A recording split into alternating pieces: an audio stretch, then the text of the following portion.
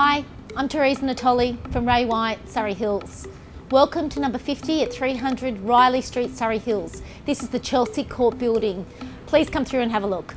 This property is situated in the Chelsea Court building in Surry Hills. This is one of the best buildings in this area. Number 50 is situated on level 4. It is a sub penthouse apartment. As you enter the property, you have this fantastic open plan lounge, dining, kitchen, and every room has its own window because this is a fantastic corner apartment. The lounge dining area is so spacious but it opens up to this fantastic deck area also that overlooks the pool and the gardens which is a fantastic outlook. The floor plan on this property is enviably one of the best. Both the bedrooms are located on either side of the lounge room and so are the bathrooms so it makes this property very very private for people to share.